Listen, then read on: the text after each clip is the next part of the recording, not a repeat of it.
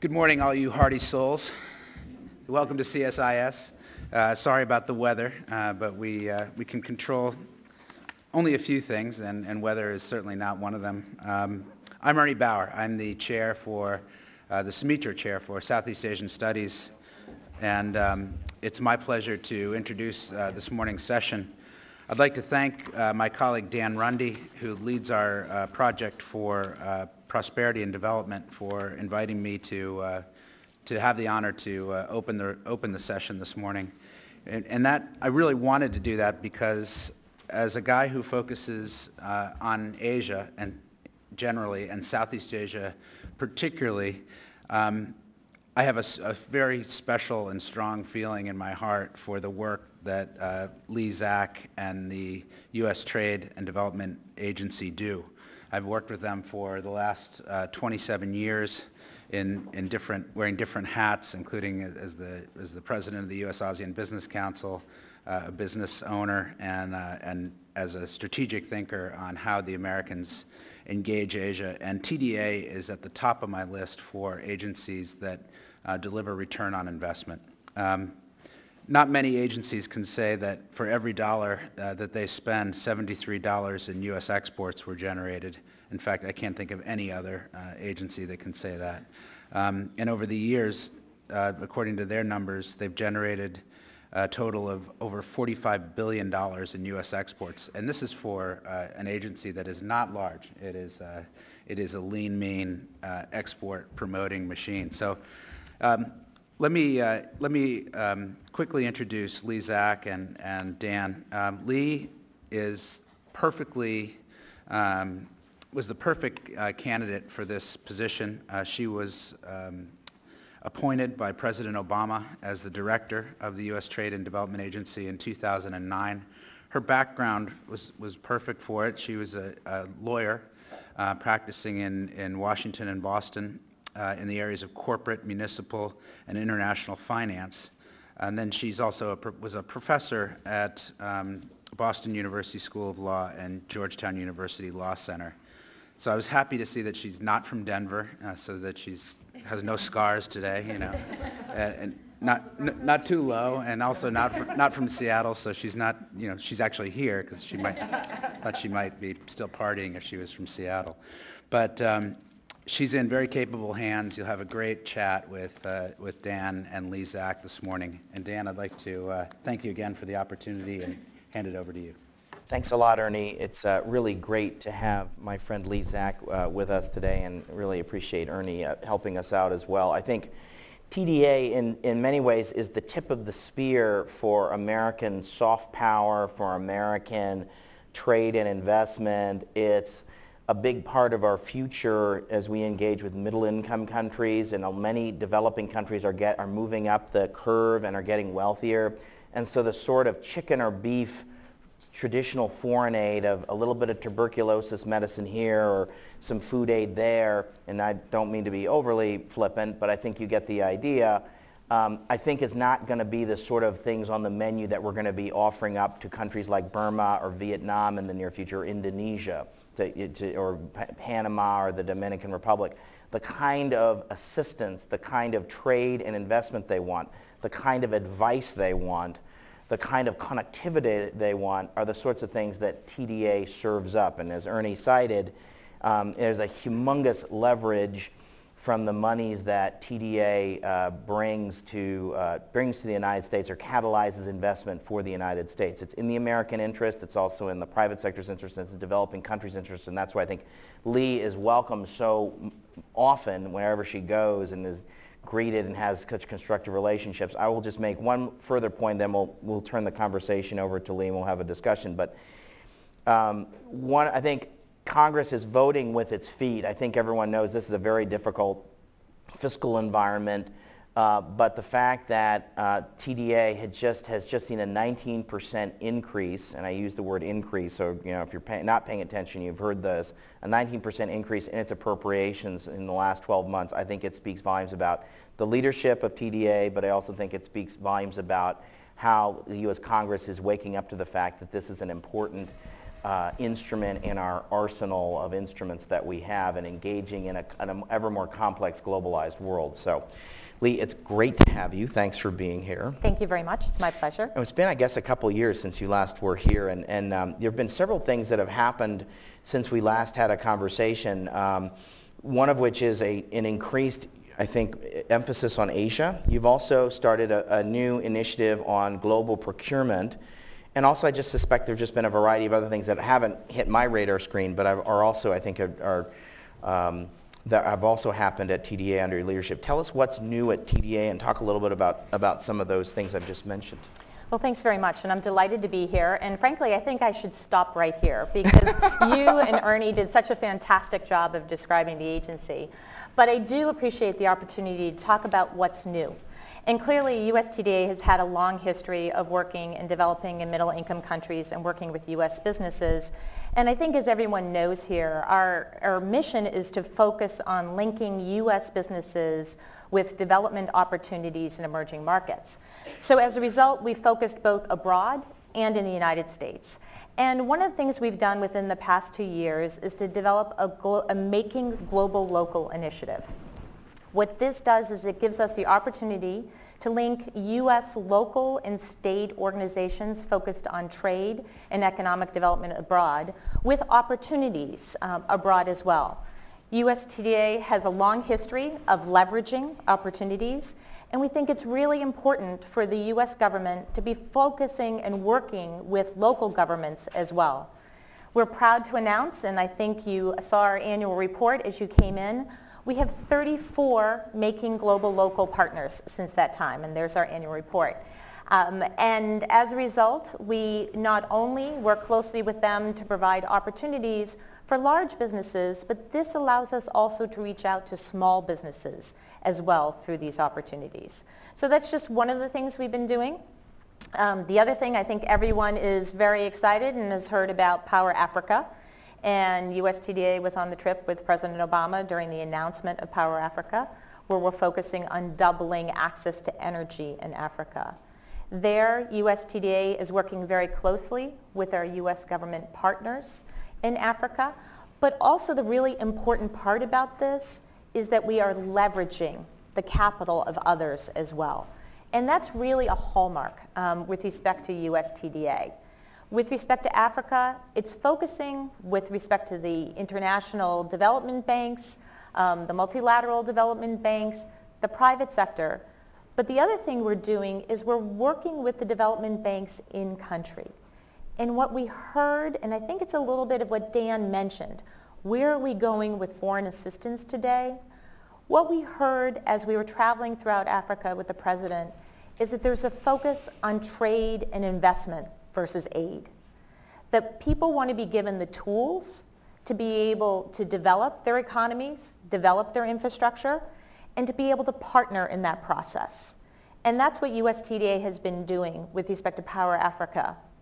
And I'm very pleased to be partnering with our um, partners OPIC and Exim Bank um, in our office. USTDA has had an office in South Africa, and they're joining us in that office for Clean Energy Development Finance Center.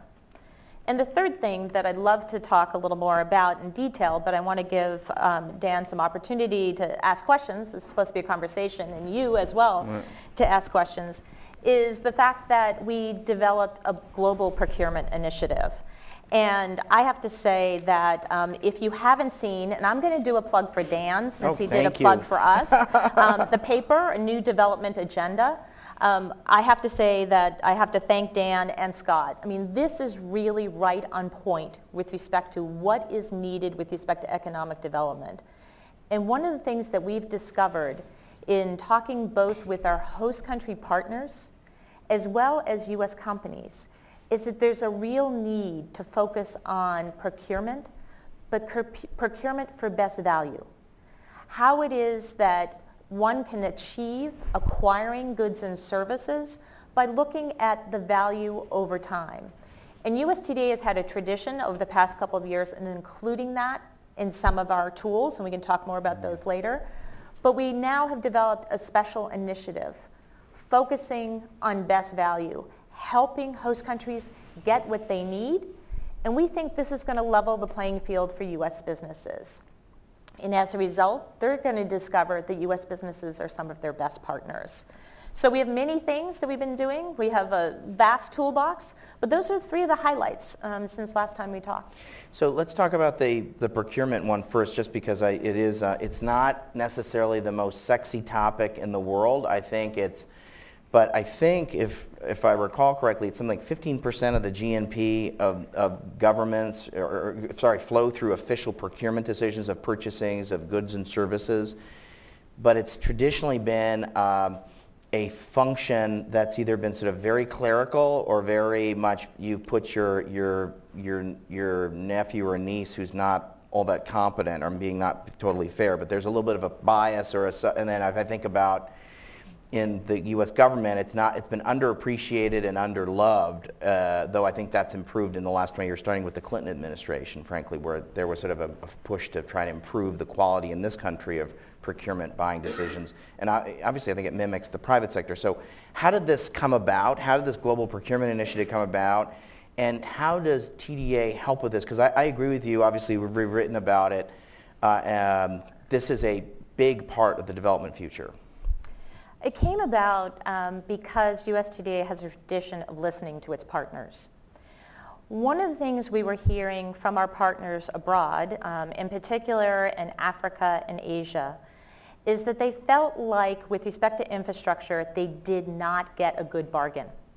That they did procurements in the past, they've built infrastructure, and that infrastructure is not what they anticipated. And they made those procurements based upon low cost. At the same time, we were hearing from U.S. businesses that they're not winning these procurements because of the fact that the procurements are based solely on low cost. And the recognition, if people took into account not only the cost, but the maintenance costs in the future, how long a product is going to last, then what they would really realize is the investment that they're making at the beginning is the better investment. So a couple of years ago, listening to both of those, we included in our feasibility studies, which is one of our tools, and our technical assistance, how to produce a formula with respect to low cost. So giving those tools to those procurement officers. But what we also realized is the fact that there really does need to be training of those procurement officers. And we have the support not only from U.S. business, but we are partnering with an academic institution, GW Law School, which have a premier institute with respect to procurement, and all of the multilateral development banks have agreed to be collaborators with us. So it may not seem sexy, but it is really important. And it actually is the area that is getting tremendous attention. And as a matter of fact, USTDA is a member of the President's Export Council, which includes private sector, congressional representatives, et cetera. Um, the President's Export Council put forward a letter to President Obama asking for support of this particular initiative because that's how important it is to them. So to paraphrase uh, Vice President Biden, this is a very big deal. This is a big deal. the, so you talk about within this, this procurement initiative, obviously you, I do think a lot of the multilateral development banks get this or, or they, they come across because they're working with governments and they understand they need, are you working with any U.S. government agencies or are you getting, and, and are you getting additional push or support from either chambers of commerce, talk a little bit about it, both the U.S. government side, either MCC or others, or, and then talk a little bit about uh, associations that, that are supportive of this in addition to the President's Export Council? Well, it's interesting. I think some of the people who have been most supportive of this actually um, include host country representatives. Um, we met with the ASEAN ambassadors, and this is also one of the places where this came up and the real need. So clearly from that community, it's highly supported. With respect to the U.S. business community, everywhere that we have gone and we've talked about this, we've received support from the U.S. business community as well. So it clearly is an area where there are great opportunities for partnership. And as a matter of fact, we're going to be conducting a training in Botswana, um, which will include the private sector as well as our academic institutions, as well as the public sector. And we have spoken with MCC about some aspects of what they're doing.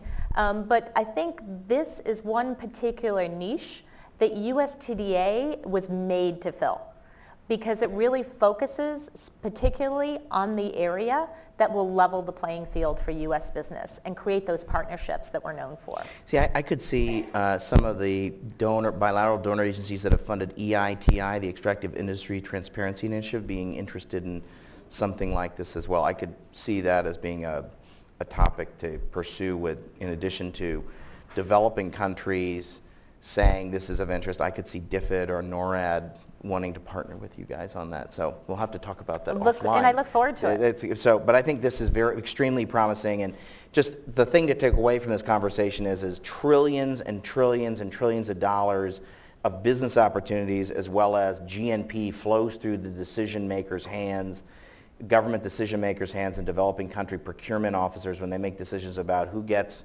who's awarded the contract for a road or even for some of the energy, some of the energy decisions as well. I think also this also comes up in terms of negotiating energy agreements as well. No, absolutely. And I think, you know, this is really one of the areas where we're getting incredibly positive feedback from the people who are going through the training, through the host country, um, as well as U.S. businesses. It really has been sort of a tremendous initiative that's received a lot of support and partnership.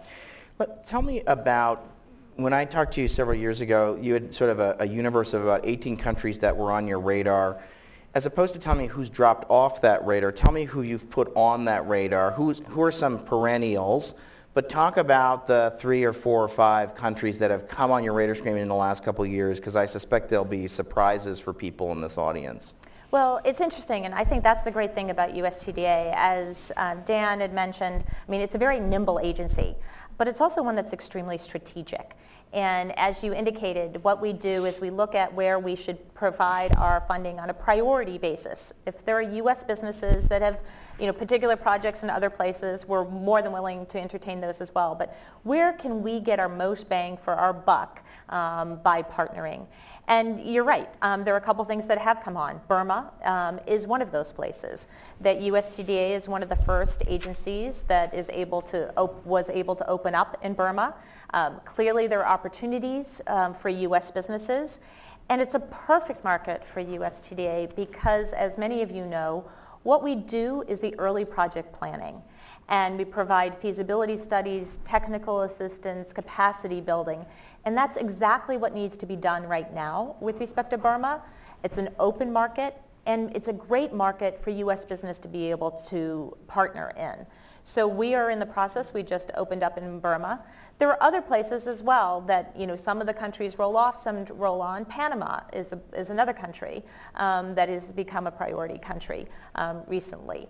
And I think we see great opportunities there, not only with respect to the canal, but also what's going on with respect to the development um, as well. The Dominican Republic's on that list. And Dominican Republic is on that list as well. And why is, why is the DR on that list? Because I think there we also see a real opportunity with respect to clearly energy, with respect to telecommunications. The Caribbean is looking to do things on a regional basis, mm. and we see that as a very important market, and one that really wants to work with U.S. business as well.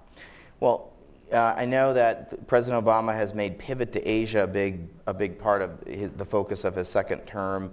Um, and you all, as I said earlier, are the tip of the spear of a lot of that. And certainly you talked about Burma.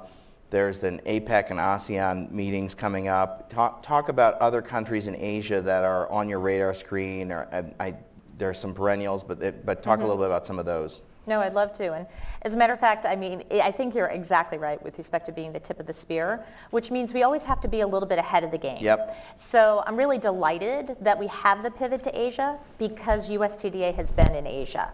So it's a little bit of being able to see some of the work that we've been working on, now being able to bring our partners in from the U.S. government um, as well as the private sector. And as a matter of fact, um, this pivot for us started a couple years ago with respect to the ASEAN. Um, there was a significant interest in the ASEAN countries, and the private sector was trying to figure out how can we do something on a regional basis. And the, what they did is they came to USTDA and said, you're able to act more quickly than other agencies. You're able to be able to bring together the right people. So USTDA developed the US ASEAN Connectivity Cooperation Program. And that program is focusing on connection between the ASEAN countries with respect to energy, telecommunications, and transportation. So we've been in the countries. I mean, clearly, as you mentioned, you know, there are the, we, you know, we clearly have India, we clearly have um, China that we've been working in, but at the same time, we've been working very closely in Vietnam and Indonesia and the Philippines, um, and being able to sort of have people work together um, to be able to develop um, their infrastructure in particular. So the ASEAN is something that's been very strong. Um, at the same time, with respect to energy in the region, last year alone, USTDA tripled its, its focus and tripled its investment with respect to energy in the region. Mm. And we see this as incredibly significant market. Um, clearly, Vietnam, wind, Indonesia, geothermal, Philippines, biomass. So throughout the region, um, we see significant opportunities for development. And what we see is, as you indicated, USTDA has already begun to lay the groundwork for those opportunities. And now those projects are able, hopefully, to be able to move forward with our many partners, both in the private sector and the public sector. talk about your relationship with China, because you've had a long-standing relationship with China, and you, you actually, I know you have, where, I forget which ministry, but you have a number of very constructive relationships with some of the ministries there. Um, we do, and as a matter of fact, I mean, USTDA has been in China for over 12 years now. And it has, and I think you, you hit the nail on the head, um, very significant relationships in China um, that we've been able to develop over time. And the other thing is being able to work in cooperation. So USTDA developed an aviation cooperation program in China that has become extremely successful partnering with U.S. business, both large businesses, small businesses, as well as their CAAC, or their ministry with respect to aviation. So as a result, under that umbrella, we've been extremely successful in being able to bring people together so that they can, one, get to know one another, plan projects together, and as a matter of fact, USTDA is, organizes a summit with the U.S. government and China, and we recently did that.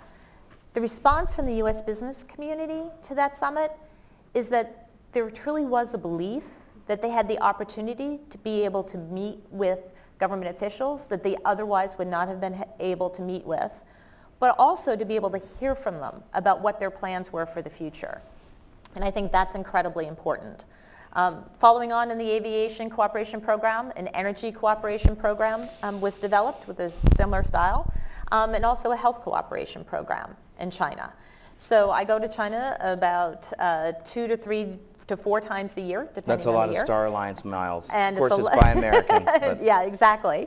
Um, but it's also developing those relationships, and I think it's really um, benefited U.S. business. And I think the goal there is also large businesses and small businesses being able to come in under this umbrella.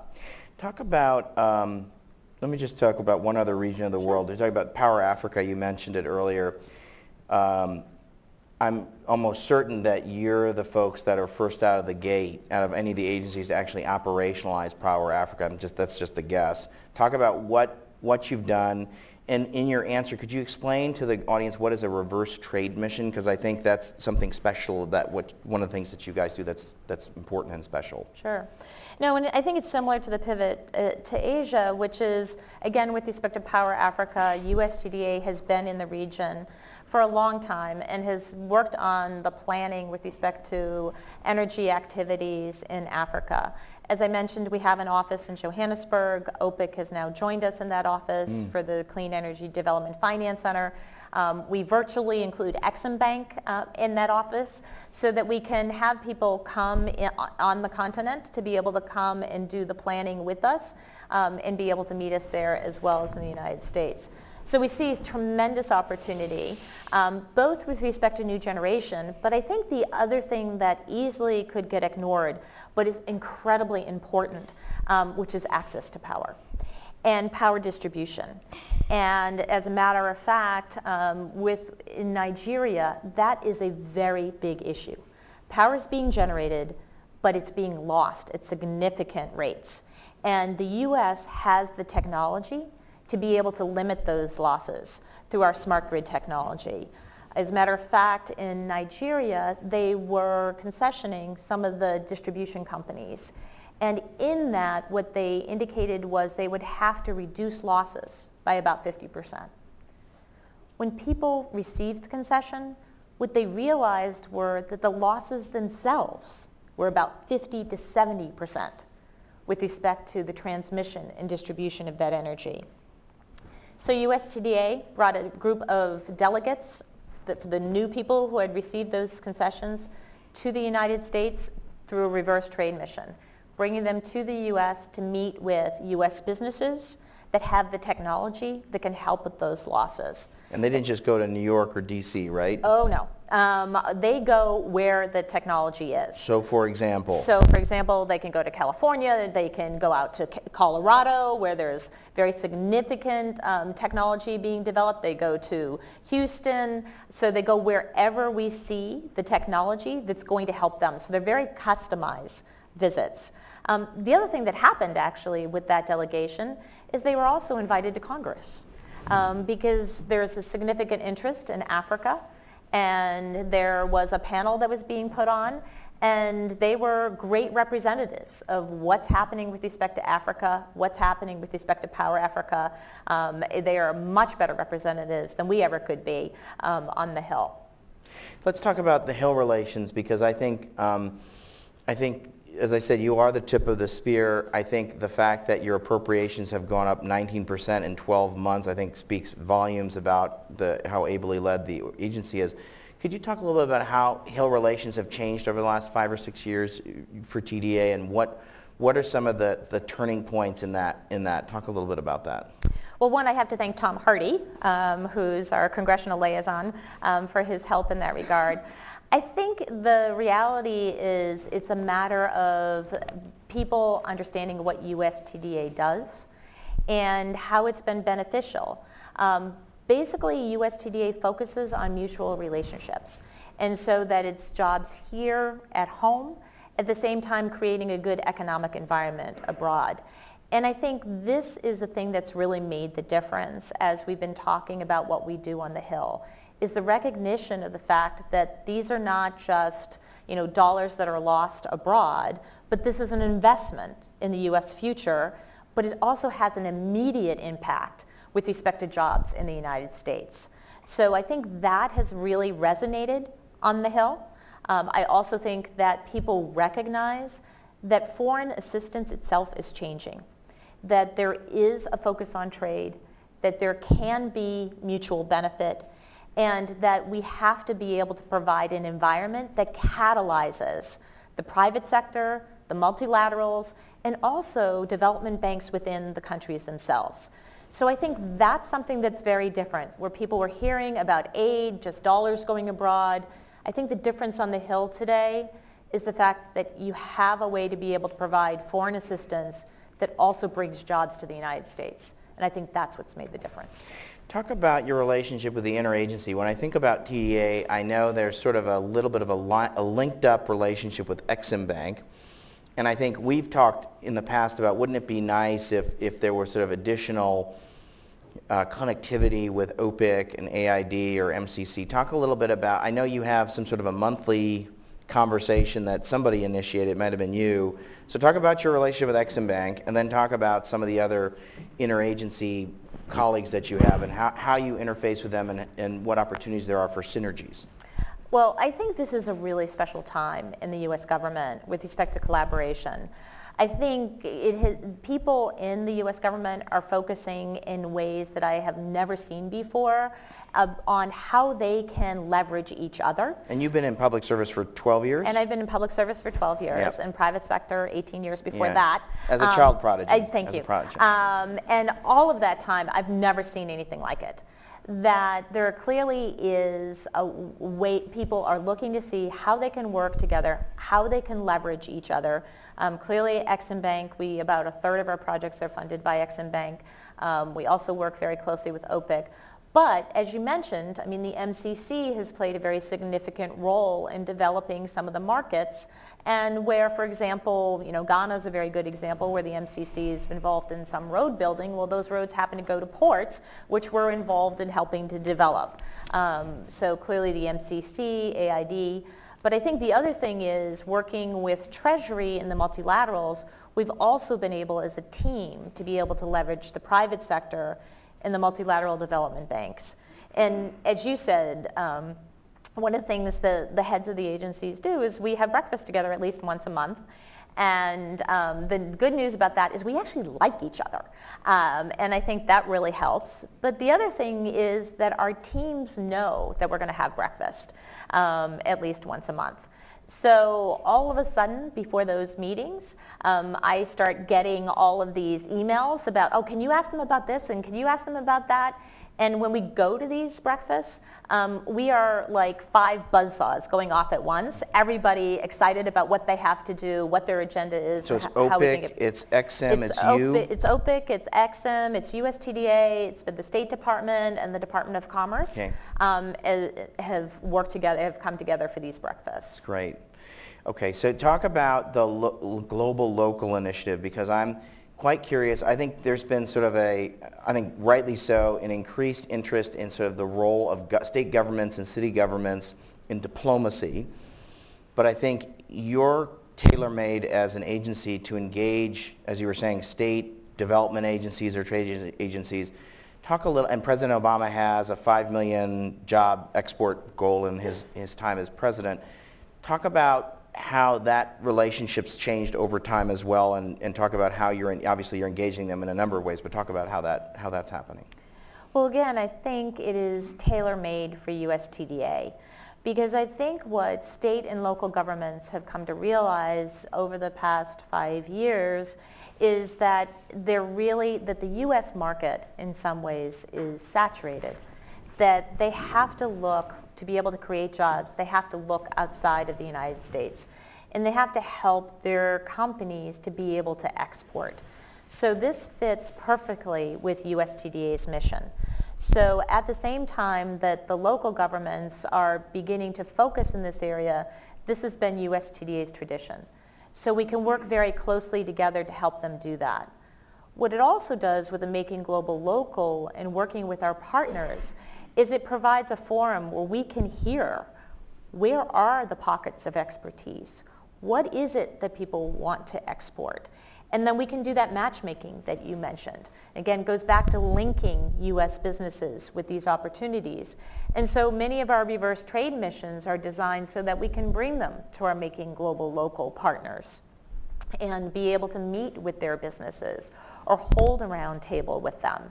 So the Making Global Local um, partners are our intelligence to what's going on, where there are markets, and at the same time, we can help them, especially the smaller businesses, by bringing the opportunities to them instead of them having to go to the opportunities. Can you just, last question, then we'll open it up. Can you talk about um, the advantages of being a small independent agency? Talk about what, what that's like. I know you recently had to testify on the Hill um, in, a, in putting on a different hat and thinking differently, but talk about the way it's currently set up today, what the advantages are. I I have to say, I mean, USTDA is just a phenomenal agency, and I came from the private sector, and it really is an agency that works like the private sector. And part of that is the fact that it is able to be very nimble, very agile, to be able to listen, to not be bureaucratic in its approach. And as a result, it's a little bit like you mentioned, we do our strategic planning every year. We have the ability to look forward. But if something, the world is changing constantly. And so we can change with it. And I think that's been an extremely important aspect of the agency, especially when you're at the beginning of projects. You have to be able to move quickly. You have to be able to change course when necessary, or you have to be able to stay right on um, at the same time. So one of the benefits of USTDA is that it is a nimble agency that is um, filled with an incredible talented staff um, that has the ability to go where the opportunities are and to be able to bring the U.S. public with us. Great. All right, let's open it up. I, am sure there are questions. I see uh, some folks here up front. Jeremiah, we could start um, with this gentleman here, this gentleman, and this woman in the second row, these three. We'll start, we'll bunch them together. If you name, name an organization, and if we keep these uh, pithy, we can do several rounds. Yeah. Oh, thank you. Um, I'm Andre Sauvageau, and I'm uh, the chief representative in Vietnam for the Interstate Traveler Company, LLC, in Detroit. Um, wonderful presentation Thank and you. exciting. And of course, I homed in on your remarks on ASEAN and Vietnam.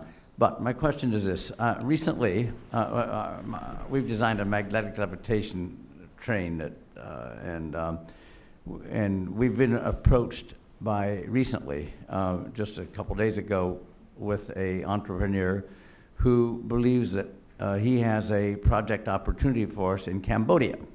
So my question is, and not mentioned in, I mean, it was a lot of detail and all, but not mentioned at all was the political situation, which I'm personally concerned with, that, you know, the, with the um, uh, unrest in the election after the re-election of Hun Sen.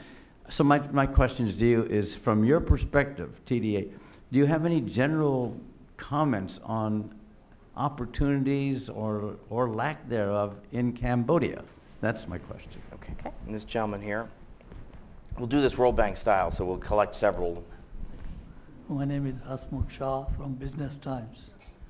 I'm familiar with the activities and role played by USTDA in promoting US exports into the especially developed country, especially country like India. Now they are doing a good job helping the objective of President Obama, not only the improving US economy, but creating jobs. Likewise, there is another organization of the US government in the Commerce Department called Select USA. Their job is to get foreign investments into America and how to create more jobs here. Country like India has always been looking for US investments. Now, USA is looking for Indian investments. India has invested $20 billion in the USA and created about 100,000 jobs and US is interested more because India is a big market. So uh, my question to Director Zak is that how do USTDA would support its sister organizations like US, yeah. like USA Thank you. Achieving President Obama's job and creating uh, objective and creating more jobs here. Thank you. Thank you. This woman in the second row. Good morning, ladies and gentlemen. My name is Rosemary Segera. I'm the president of Segeros International Group. Thank you so much, Mr. Thank you for the wonderful presentation. Uh, I come from Kenya and I'm based here in the US. I'm a woman-owned company and uh, I want to thank President Obama for the Power Africa initiative and the youth initiative, which I'm also involved into the power, looking at the rural area, how we can get power in the rural areas in Africa, because as a woman born and raised in Africa, I don't want to see women use firewood in, in between now and 2020, now that Power Africa is there. Looking at your partnership with agencies, private and public sector, we have partners with USAID, State Department, where we go to the global diaspora. What are you looking to, how are you looking to work with us as global African diaspora input like the Power Africa. It involves us as global. We understand the culture, the tradition, and the problems facing Africa with power. How do we work with you, and how do we know about the procurement, the other initiatives? You need to make that partnership with us. How do we work with you? Thank you. Okay, let's take those three. Sure. I'm going to take those three. I'm going to take them in reverse order, yep. um, if you don't mind. I'm going to start with Kenya. Thank you very much um, for the work that you're doing to support Kenya. And absolutely, the diaspora is such an important part of economic development and such important partners. Uh, and as a matter of fact, USTDA really does reach out to the diaspora. We'd love to reach out to you more, and I'm going to want to take your card um, after this as well. And part of our reverse trade missions is one of the ways we do that, is by bringing the delegates here, we announce the fact that we have business briefings so that on our website, and that's something everyone should be aware of, um, which is www.ustda.gov. We provide all the information with respect to our events all the delegates that are coming to the United States, where they're going to be across the country. So that's something I would love to be able to partner with you on.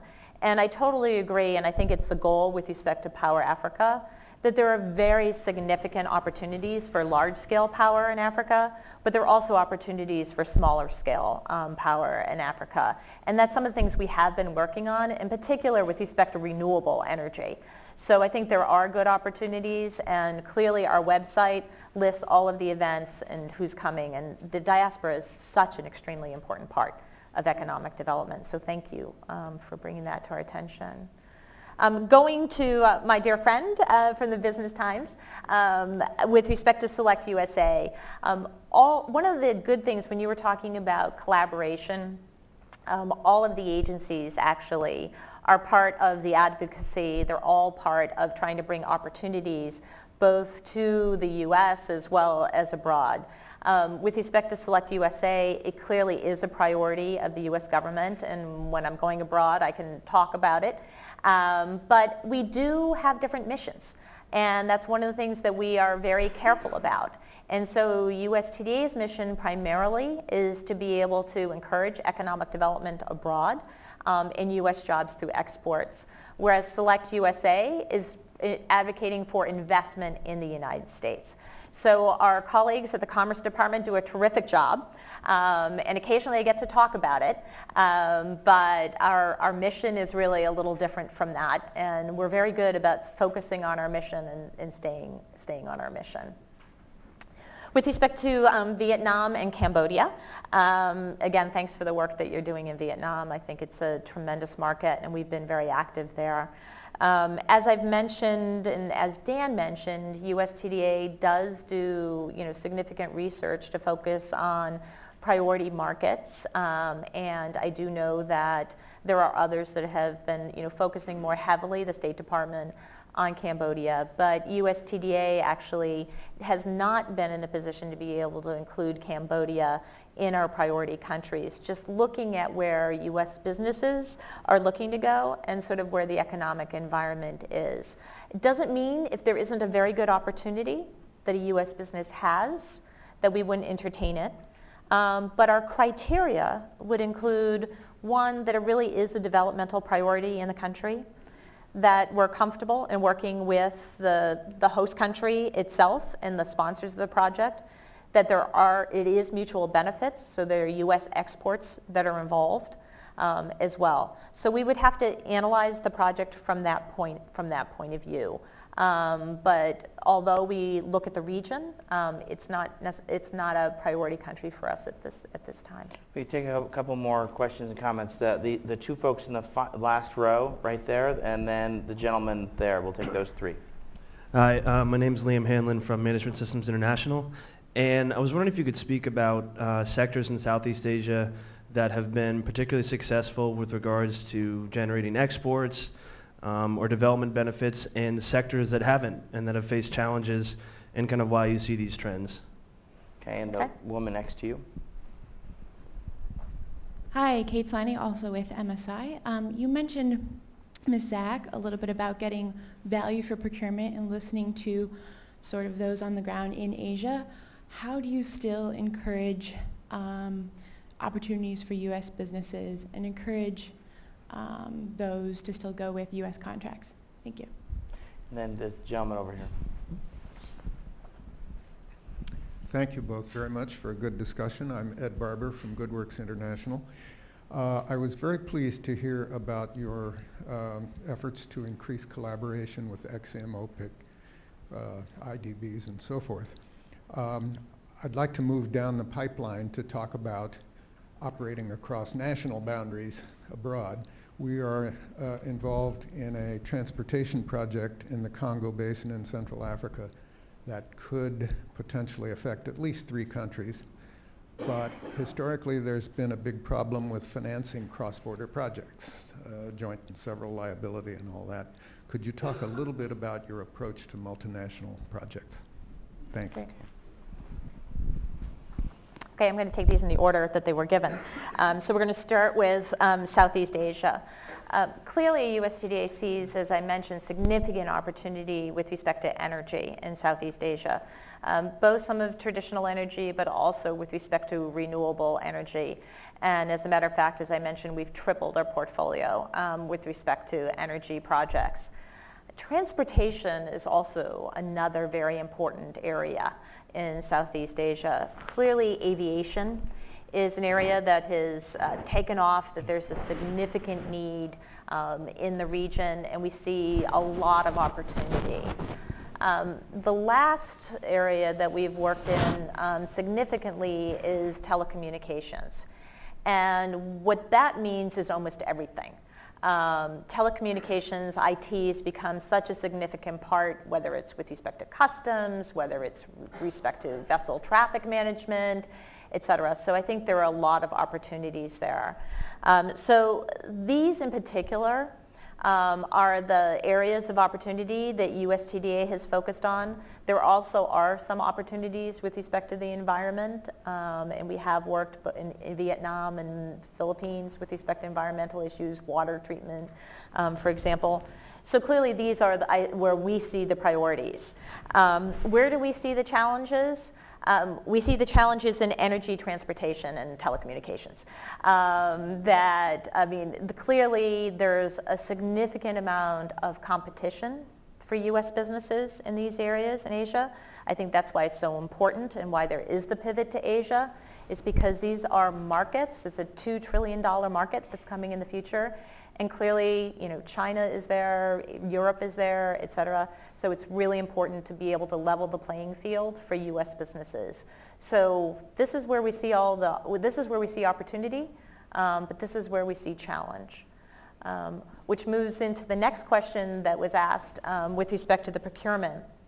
And I think we really do believe that the best, having people focus on procurement on best value, what the cost is over time, including maintenance costs as well, is really going to be significant in leveling the playing field for U.S. businesses in this challenging environment. That clearly there are other countries that have found, located these markets. They're willing to provide their goods and services at very low cost. But when you do the comparison on just the cost versus the cost over time, it levels the playing field for U.S. businesses. It then gives them the opportunity to compete on the same level. And frankly, it also gives the host country a better buy.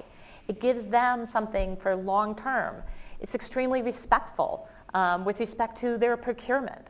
So I think that is going to be sort of one of the things that's going to help to be able to eh, provide for those opportunities and also to level the playing field um, for U.S. businesses.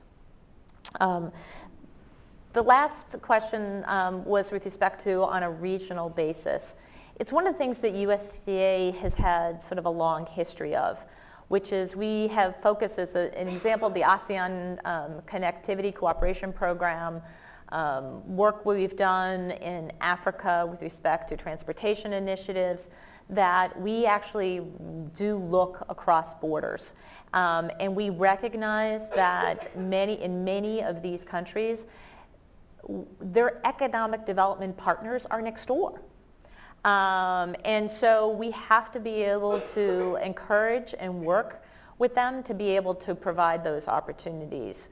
Um, and one of the things that we can do is work with them on areas where we can provide, you know, mechanisms for common sources of revenue, where revenue could go to be able to secure some of that financing on a more independent basis. And that's part of the strategic planning that we can do with respect to some of the projects that we work on. It's not just the technical aspect, but we also look at how can this project be financed? And there's some creative schemes um, to be able to put forward, whether there's a trustee with respect to revenues from projects that would be independent when you're talking about cross-border. So we work very closely um, with the financiers when we try to develop those scopes of work of not only, you know, if it's technical, something can get built, but you really need to know sort of what the right financial scheme is to be able to have the implementation in the long run. Okay, we got time for one or two more questions. So uh, this, uh, gentleman there, and this Dana Marshall, please.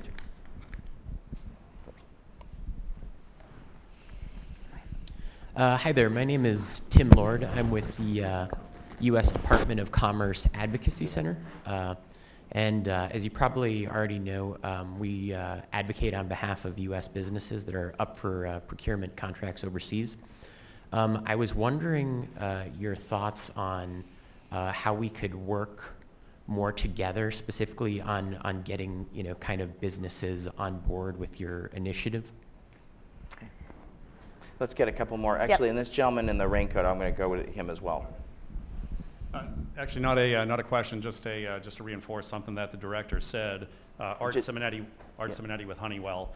Um, We are a, uh, we're a user, uh, customer of, of TDA's. Um, The director made reference to, uh, um, in, uh, in Asia Pacific, to just the importance of getting, getting US companies and US companies' technologies in there early in a lot of these projects. So so aviation, for example, airport modernization, clean energy generation, smart grid, energy management, things like that. Those are all the spaces we play in and things we're working directly with, with TDA.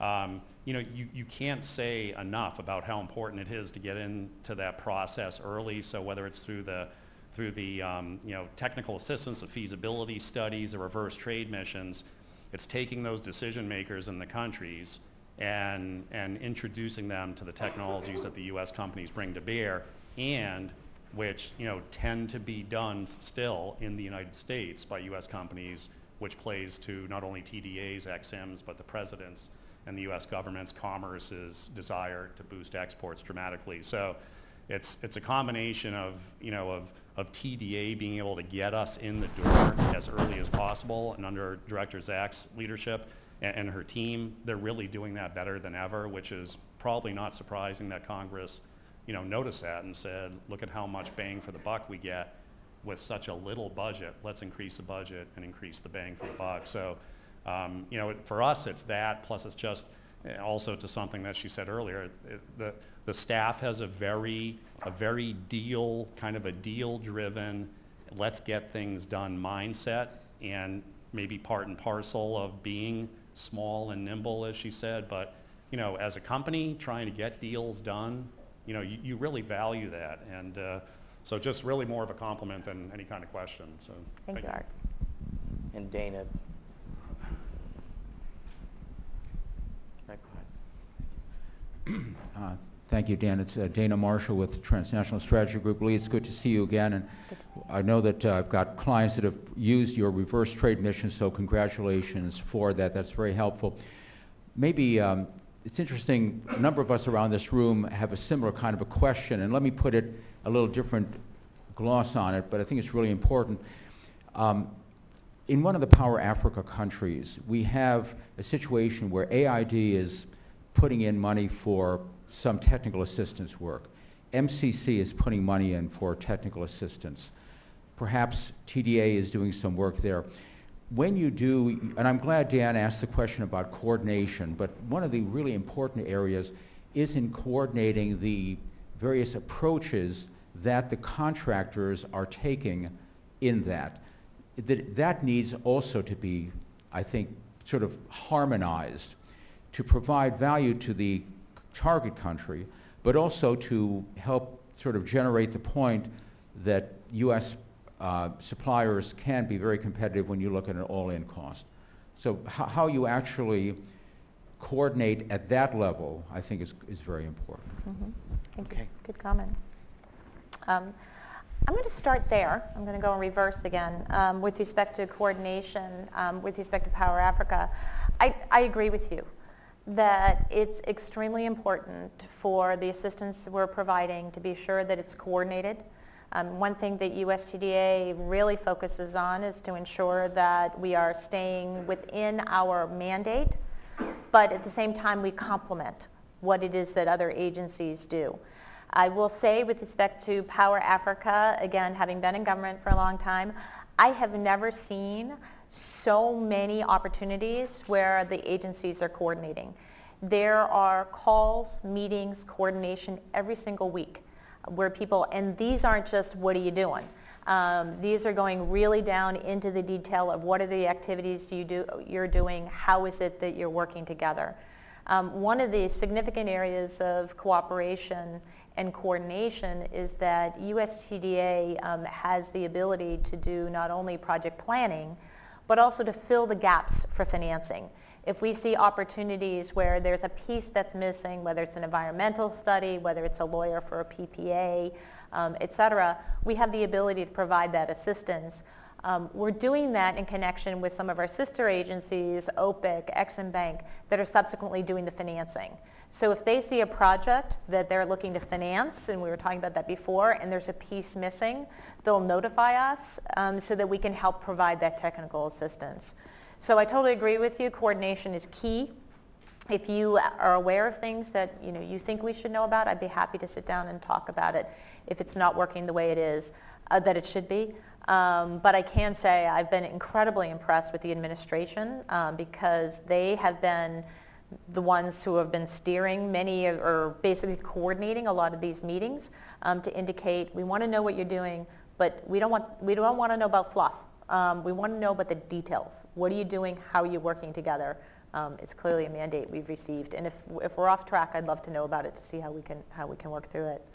Um, Art, thank you very much um, for your comments. Um, really, it's a, it's a great example of collaboration where we've learned a lot from Honeywell about sort of what the needs are for U.S. businesses and what we can do to be able to help in the host countries for economic development. It's been a terrific partnership. Thank you. And um, with respect to the Advocacy Center, um, we work with them constantly. Um, as a matter of fact, um, one of the tools that USTDA provides are training grants so that if there is a procurement um, and that other host countries are providing other kinds of sweeteners um, for their um, companies, oftentimes the Advocacy Center gets involved in advocating on behalf of those U.S. companies and USTDA has been able to provide training grants. So to go along with goods and services, we can provide a grant that provides for the training with respect to those goods and services. And those are always coordinated um, with the Advocacy Center. So it's been a very good relationship throughout the years and even more so of late. Well, Lee, this has been great. Thank you for making Thank the you. time. Please join me in uh, thanking Director Lee Zak. Thank you.